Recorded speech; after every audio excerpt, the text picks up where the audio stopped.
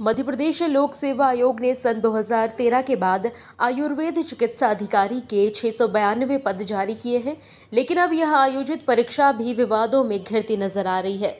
वहीं छात्रों ने लोक सेवा आयोग द्वारा आयुर्वेद चिकित्सा अधिकारियों की भर्ती में किए जा रहे भेदभाव से नाराज़ होकर आयोग कार्यालय पर प्रदर्शन शुरू कर दिया है। आयोग द्वारा संविदा शिक्षकों को 15 प्रतिशत बोनस अंक दिए जाने का विरोध किया जा रहा है।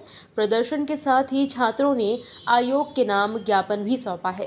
बोनस अंक देने के संबंध में है। एक मिनट एक मिनट करे रोल? हाँ रोल है। जी सर बताएँ ज्ञापन दिया है क्या मामला है पूरा? ये जो मामला है ये आयुर्वेद चिकित्सा चिकित्सा अधिकारी पद के लिए प्रतियोगिता परीक्षा में जो बोनस अंक देने का है उसके संबंध में मुझे ज्ञापन प्राप्त हुआ है।